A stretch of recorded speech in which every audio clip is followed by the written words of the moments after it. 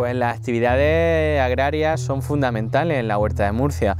En este paisaje lo que lo mantiene pues son los cultivos que vienen del, regadío tradicional, el regadío tradicional que nace en la contraparada con las dos acequias mayores, que se bifurcan en decenas de, de otros cauces menores que al final suman cientos y cientos de kilómetros entre acequias, azarbes, azarbetas, brazales y, todos estos canales lo que generan es un, espacio de cultivo, de un cultivo tradicional, de un minifundio en el que se han ido eh, separando las parcelas y que también, pues como decíamos, nos produce una serie de variedades que se han conservado a lo largo de los siglos y, que son propias de, nuestra huerta, como pueden ser decenas de ejemplos de tomates, por poner un, por poner un ejemplo en el que solo la hemos estado conservando en la huerta de Murcia y que si no los mantenemos pues vamos a perder una diversidad genética que hemos heredado de nuestros antepasados. Tenemos un clima muy suave, prácticamente eh, sin, helada, con lo cual pues las condiciones son muy adecuadas, muy favorables al desarrollo de, de la agricultura en general.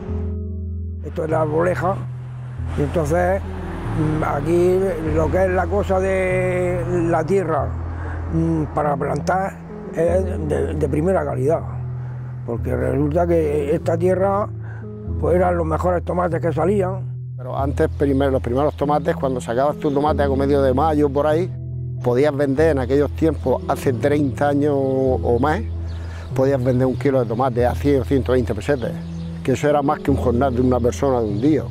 Entonces eso, se, por eso digo yo, era laborioso y la gente con muy poquita tierra mm, y echando ahí horas y horas de trabajo, eh, se solucionaban eh, el año.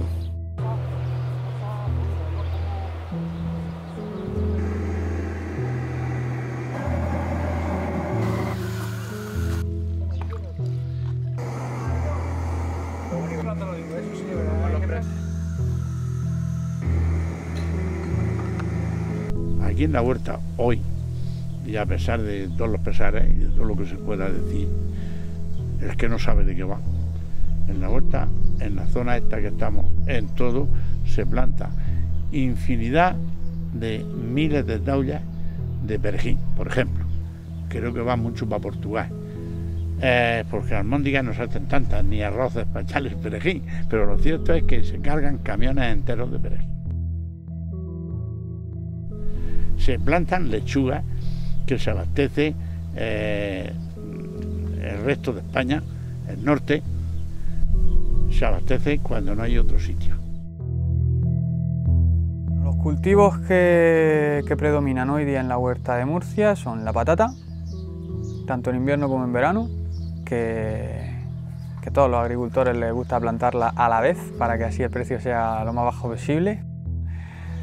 Luego nos quejamos todos, incluidos nosotros, que también plantamos cuando toca. El maíz, que empezó... Nosotros empezamos hace dos años, no había tanto maíz, el año pasado hubo un poco más y este año mucho más, y ya nos hemos dado cuenta que es transgénico, por lo tanto, pues bueno, la rentabilidad quizá primera será bastante, pero ya se darán cuenta de aquí unos años la barbarie que van a causar. Eh, y en invierno, pues acelgas, coles varias, brócoli, repollo, y lechuga.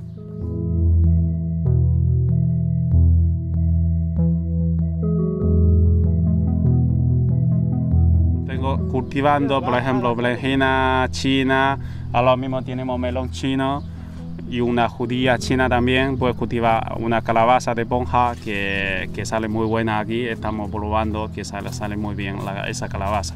Y luego hay una calabaza como de calabaza de aquí España también tiene para como vino, que, que, aquí también sale muy bien.